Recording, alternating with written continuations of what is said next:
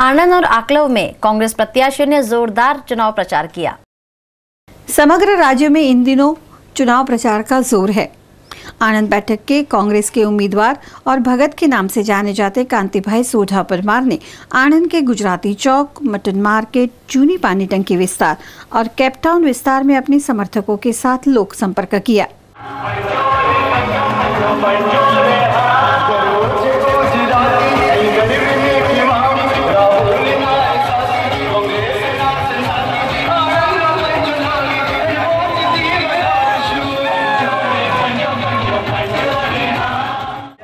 પ્રજા એવું સમજે છે કે દરેક જગ્યાએ નથી જઈ શકતા એટલે થ્રીડીથી પ્રચાર કરી રહ્યા છે.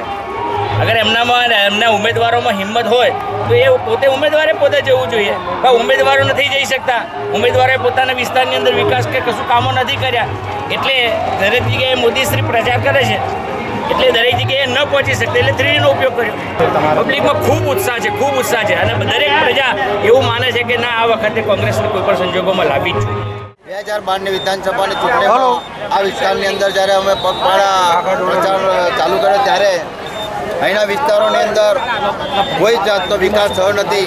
વીસ વીસ વર્ષથી ભાજપના ધારાસભ્યો ચૂંટાયા છે, પરંતુ આ બાજુને દુર્લક્ષ સેવી અને વિકાસના કોઈ પાણીની ગટારની સુવિધાઓ નથી રસ્તાઓની સુવિધા નથી અને પીવાના પાણીનો પણ પ્રશ્ન છે અને જ્યારે આ વખત કોંગ્રેસને વિજય મળશે તો આ બાજુના રસ્તા વીજળી પાણી અને ગટરોની વ્યવસ્થા માટેને અ, અમે ખાસ પ્રયત્ન અને વિકાસને વેગવંતો બનાવવા માટે અમારી સંપૂર્ણ અ, મહેનત અમે આ વિસ્તારની અંદર કરીશું आंकलाव बैठक के कांग्रेस पार्टी के उम्मीदवार अमित चावड़ा ने आज सत कैवल मंदिर में दर्शन किए और उसके बाद सरदार पटेल की प्रतिमा पर माल्यार्पण किया और इसी के साथ उन्होंने शुरू किया लोक संपर्क वे अपने विस्तार में लो- घर घर घूमे और लोगों के साथ उन्हें मत देने अपील की વિકાસ શું થયો છે એ કોઈને ખબર પડતી નથી વિકાસ કોને કહેવાય એ પહેલાં એ કહે કે મેં આ કર્યું છે એ એવું કહે છે દરેક વખતે કે મેં ભાઈ કેન્દ્ર સરકાર બધું આવું કરતી નથી આ નથી કરતી પણ મેં શું કર્યું છે એ કોઈને કહેતા નથી કે મેં આ આ કામ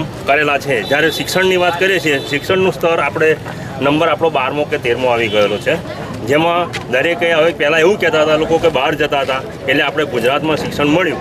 શિક્ષણ મળ્યું ખરું, પણ એ શિક્ષણ આપણને મોંઘું મળ્યું. બરાબર છે? જો આ બધું એ વિકાસ ખરેખર કર્યો હોય, તો ગુજરાતનું દેવું દિન બદિન વધતું જાય છે. અને જો વિકાસ ખરેખર થયો હોય, તો દેવું ઘટવું જોઈએ કે વધવું જોઈએ? એ હવે મતદારોએ નક્કી કરવાનું છે. આ સીટ ઉપર અમિતભાઈનું ભારે છે કોંગ્રેસનું. અને જે ભાજપના ઉમેદવાર સત્તર વર્ષથી સત્તા પર છે એમને આ વિસ્તારનો વિકાસ જ નહીં કર્યો. એ ડિપોઝિટ ગુમાવશે આ વખત. જે લોકોનો ઉમળકાભેર આવકાર જોઈ રહ્યા છે ત્યારે ચોક્કસ લાગે છે કે આ કૈવલધામ ને સત્યવલ સાહેબના આશીર્વાદ ચોક્કસ કોંગ્રેસ સાથે રહેવાના છે. અને આવનારા સમયમાં ગુજરાતમાં ગુજરાતના લોકોની સરકાર આવવાની છે, એમના માટે યોજનાઓને કામ કરનારી સરકાર આવવાની છે. અને પ્રજા મત કોંગ્રેસ તરફ વળ્યો હોય, એવું ચોક્કસ લોક જુવાળથી જોઈ શકાય છે.